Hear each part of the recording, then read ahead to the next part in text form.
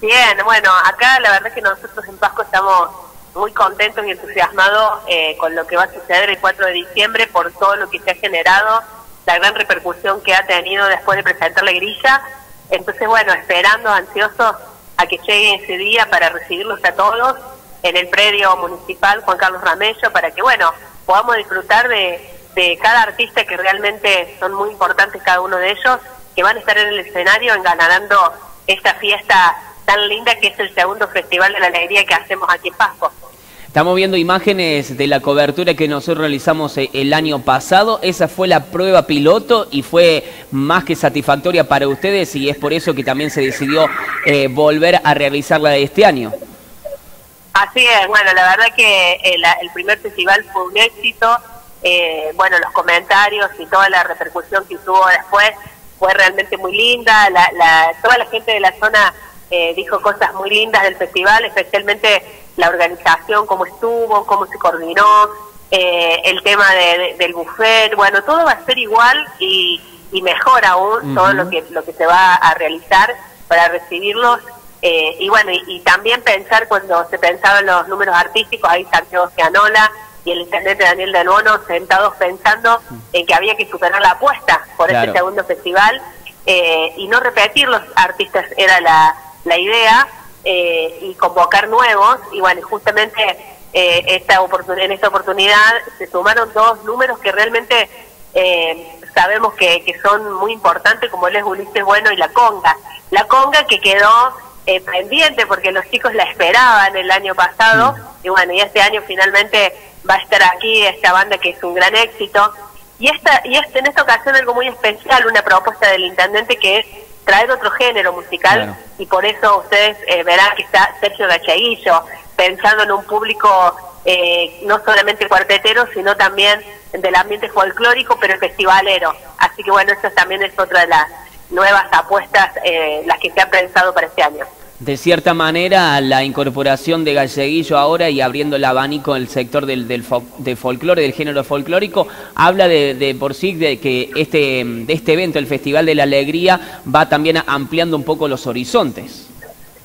Sí, la idea es que, esto perdure en el tiempo, de que eh, no importa quién siga eh, en el municipio, no año a año, recordemos que si viene un año electoral, se pueda seguir haciendo porque consideramos que en la zona un festival de esta envergadura, en donde, bueno, todos eh, lo, lo, aceptaron y se sumaron y son parte, porque en realidad no solamente el que organiza, sino el que asiste es parte de un festival semejante, eh, creo que está bueno que siga y creo que esa es la idea, esa es la idea desde el municipio. Eh, al intendente Daniel Dalbono le gusta mucho organizar eventos, para él es muy importante que siempre, todos los meses, haya algo, por ejemplo, ahora se viene el, Día de la Madre con el Toro Quevedo ahí que el domingo es totalmente gratis, el 28 la fiesta de la paella por primera vez, con artistas también en, en, lo folclórico, como los de Camino, los de Cabrera, ahí que va una banda cuartetera de Villa María, eh, y bueno, y después eh, hay, en noviembre también hay más eventos, y el festival, o sea, el intendente es, lo que quiere siempre que la gente tenga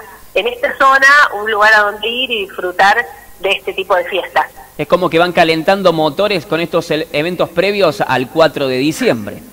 Así es, es más o menos eso, vamos calentando motores. Y bueno, y la gente que se, que se suma, no solo la de Pasco, sino de la región, y eso eh, nos da mucha alegría porque justamente esa es la idea, que sea una, una fiesta regional y, por qué no, en algún momento provincial, y bueno, y seguir sumando en esta localidad. Exactamente, me parece fantástico que, vayan por esa senda, con esa misión, por esas metas. Eh, hablando de la región, las entradas ya se están vendiendo en distintos puntos.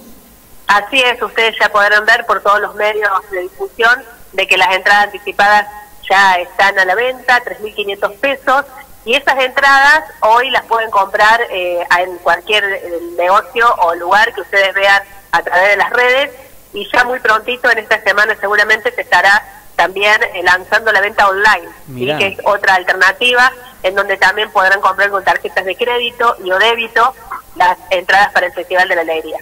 Betty, repasemos completa la agenda, la grilla de artistas que van a estar ese, ese domingo. Bueno, va a estar Luz Paício, Desacatados, va a estar Ulises Bueno, eh, Sergio Galleguillo, La Conga, y hemos sumado eh, un, un DJ local en esta oportunidad, va a estar Fran Smith. Fran Smith es un chico de la localidad de Pasco, que es DJ, y en esta oportunidad el intendente dijo, vamos a darle lugar, como le dimos el año pasado, a cantantes cuarteteros del pueblo, pero esta vez le vamos a dar lugar al DJ. Y es por eso que el DJ Fran Smith va a estar eh, siendo el que pone la música, el que va a estar musicalizando mientras se prepara una banda y otra para que no quede ese espacio eh, en silencio, ¿no? Así que Fran Smith está muy contento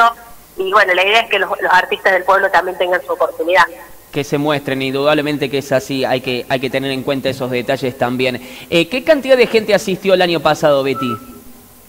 El año pasado eh, la cantidad de personas que asistió eh, fueron más de 4.000 personas, uh 6.000 me parece, si no recuerdo. Mucha gente. Sí, así que se espera eh, mucho más este año, porque justamente los géneros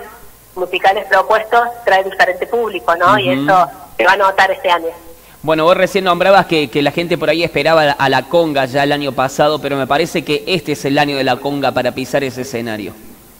Sí, consideramos que sí. Santiago Gianola, el colorete, vos sabés que es una persona que tiene amigos eh, en el mundo del cuarteto y, bueno,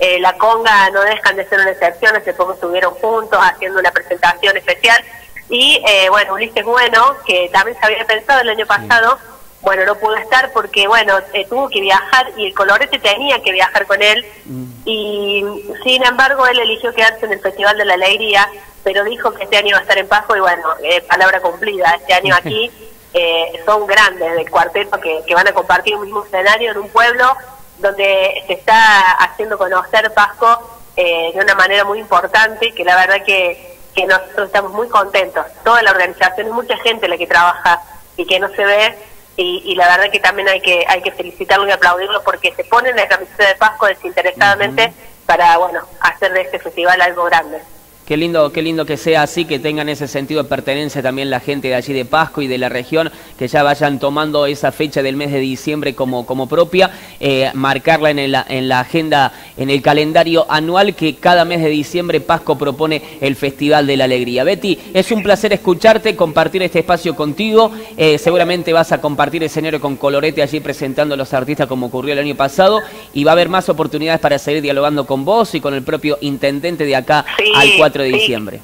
Sí, muy prontito vamos a abrir un concurso eh, en donde le vamos a dar la oportunidad a las personas que se lleguen a tener acceso a la VIP para sacarse foto con su artista preferido, así que ya te vamos a estar contando, Nacho, cómo va a ser eso para anotarse, porque bueno, es algo que quedó el año pasado, que mucha gente tenía que sacarse fotos, y bueno, a veces es imposible que las 6.000 personas saquen fotos con los artistas, pero bueno, darle un tinte y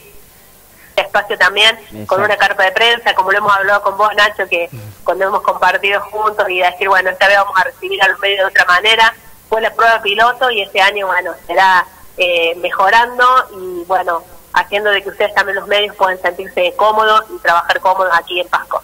Fantástico, Betty. Un abrazo grande para toda la gente de Pasco. Abrazos para todos. Saludos y muchas gracias.